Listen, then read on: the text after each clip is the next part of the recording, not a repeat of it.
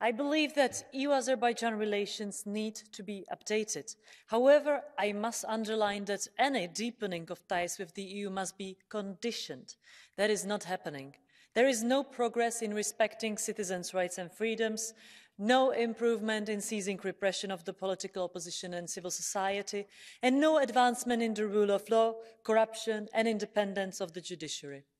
On top of that, there has not been a solution to the Lachin corridor's ongoing blockade, for which Azerbaijan is responsible and should take all measures at its disposal to ensure unimpeded movement of persons, vehicles and cargo in both directions.